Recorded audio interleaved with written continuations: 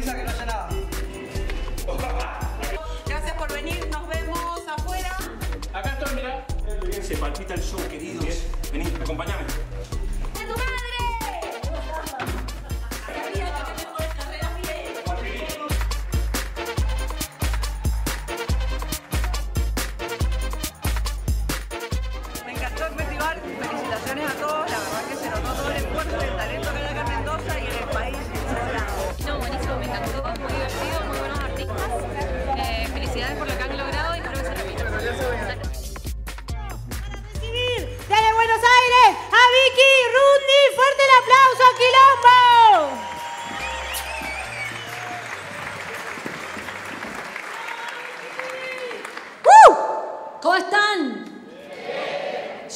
Actuar con Margarita hace poco en Chile, porque a mí me gusta ir fracasando como en varios países.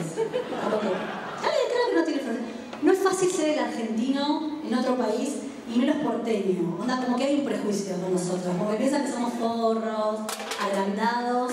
Todo eso hasta que nos conocen y comprueban que es así. ¿Para qué engañarnos, no? No es fácil ser argentino, tampoco es fácil ser mujer. Veamos, por ejemplo, las publicidades de jabón en polvo. ¿Cómo son? Un cielo azul diáfano, una pradera interminable, una mujer feliz. ¿Por qué está tan feliz? Ni puta idea. Axel que entra por la ventana. ¿Por qué está Axel siempre? Ni idea. Lo tienen las productoras y lo van poniendo. Y siempre la misma pregunta. ¿Estás preocupada por tener tu ropa blanca?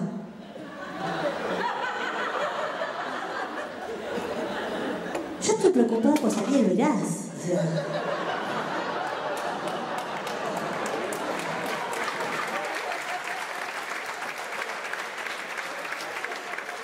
Las prioridades, como que se piensan que la máxima aspiración en la vida de una mujer es tener la ropa sin manchas. ¿Te imaginas a Hillary Clinton diciendo, ¿sabes qué, Putin? Sácame los tipos de la franja de Gaza. Para, para, para. La ropa blanca, banca, banca. Banca que esto es muy interesante. Como que no entienden sus prioridades, ¿no? De todas maneras, me llama la atención también las publicidades que cada vez quieren que nos caguemos de hambre. Vos ves las publicidades y las minas son cada vez más flacas. Tienen huesos que yo no sabía que había. Yo la miro y digo, ese hueso yo no lo tengo directamente. ¿Hay solteras acá? Levanten la mano, háganse cargo, muy bien. ¿Vieron cuando te separás, no? Como de un culiado, como lo que dice Banarita. ¿Qué es lo que querés? ¿No querés que le vaya como el orto? Y yo me separé de un chabón que pesaba 250 kilos, que tenía una cara como que le sobraban un par de cromosomas. Y es muy jodido separarse de alguien así, porque vos le decías lo peor y ya está todo el trabajo hecho.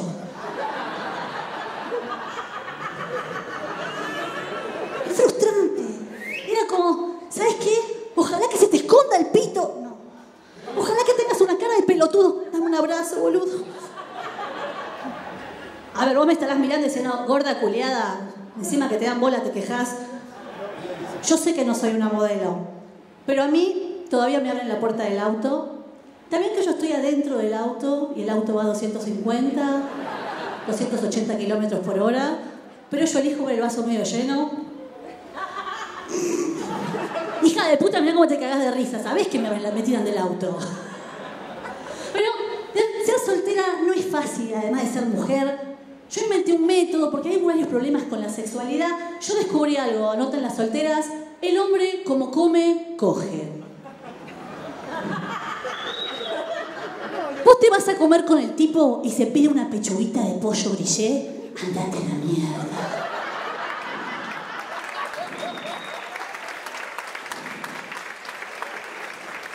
Para acompañar se pide un puré de calabaza. Y la clave está acá. Para beber se pide un spray y le saca el gas con el tenedor. Ese tipo en la vida te va a chupar la concha. Jamás. Y las señales están sobre la mesa. Creo que la culpa de la pornografía. Estamos demasiado bombardeados por el porno. El porno nos genera una percepción errónea de la realidad, chicos. En el porno nada más tienen sexo un cristiano. Oh God. Oh Jesus. Pará poringa y otras religiones que se quieren masturbar. Tirá una la. Abraham. Qué raro, ¿no? Igual que se estén chupando a alguien que diga Krishna, Krishna. Perdón por la imagen, es muy familiar este show. O Ganesha. Complicado también, la pornografía los ha, los ha convencido a los hombres de algo terrible. Y es que nos encanta que nos acaben en la cara. ¿Y sabés que no? Se ríen todas las caras con la cara acabada. Pues que yo sepa, el punto G no está en la nariz. Hay un problema con la anatomía, ¿no? Y además como que el chabón te quiere convencer y te muestra un material audiovisual con una mina que está así. Y un montón de gente... Esa persona no la está pasando bien. ¿Por qué me quieres convencer así? No es un buen argumento. No entiendo cómo es igualmente el mambo este de- del sexo y la religión. Yo hace poco eh, tenía una relación amorosa con un gringo. Bueno, me lo estaba cogiendo. Bueno, se la estaba chupando. Me van a juzgar, chicos, a ver. Nada, y el gringo no paraba. Jesus, Jesus. Era como gringo, dale. Me estoy haciendo todo el trabajo yo y Jesus se lleva el mérito. Es durísimo. No sé cómo es el mambo ese. Igual, ahora, hagamos un paréntesis. No debe haber sido fácil la vida de Jesus, ¿no? Imagínate en la primaria. ¿Quién va a la bandera? Jesús. Y claro, si es el hijo de Dios. Un bullying se comió ese chabón, pobrecito. Yo me comí bullying también. Yo tengo un padre complicado. A mí me crió un padre de ultra izquierda. ¿Saben lo que es que te crió un padre así? Obsesionado con la política. Mi papá me hizo una, una piecita, me hizo un centrito de estudiante, chicos. Al lado de la cunita me puse una fotocopiadora.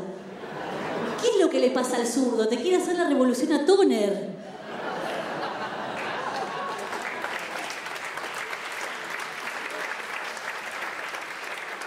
Papá estaba tan obsesionado con la política que me adaptaba todos los cuentitos para que tengan un conflicto laboral.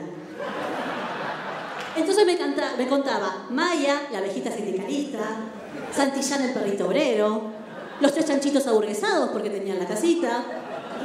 Las canciones en casa empezaban bien, terminaban como el orto. Papá me cantaba, tengo una vaca lechera, no es una vaca cualquiera. Es un sindicato en la mañana, hay que vaca organizada, tolón, tolón, lenín, lenín. Complicado.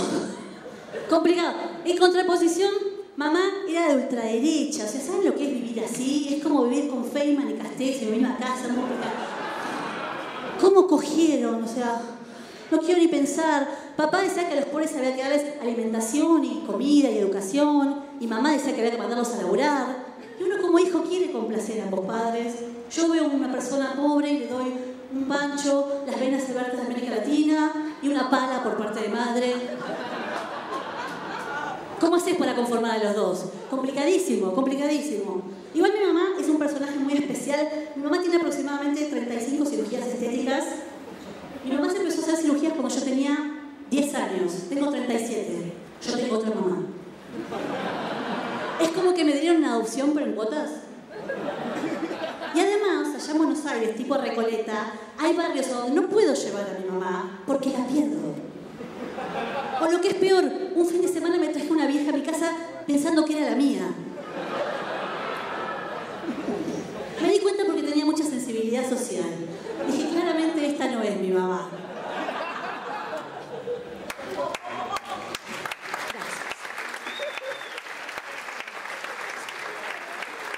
Me gusta que se rían que yo tenía una infancia de mierda. Es como que voy a la gorra después para el psicólogo. Me gusta que se de eso. Pero bueno, eso me trajo problemas con el tema de la sexualidad. Es complejo. Yo quise de alguna manera buscar cómo es esto, cómo lograr encontrar a la persona perfecta. Una cosa que me engañó mucho fue la PlayStation. Vos ves al chabón usando una PlayStation, la ductilidad y la capacidad que tienen los pulgares. Y vos decís, este me hace mierda. Hace mierda. Pero ¿cómo puede ser que el mismo tipo que te mete cuatro goles en el FIFA o te hace una fatality en el Mortal Kombat, vos después te lo culiás y no te encuentras clítoris? ¿Qué pasó? Se le paró la pija y perdió la motricidad fina.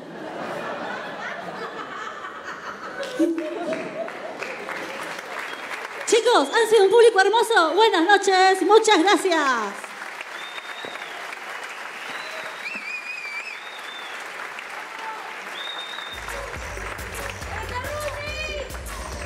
Fuerte el aplauso para Vicky Rundi.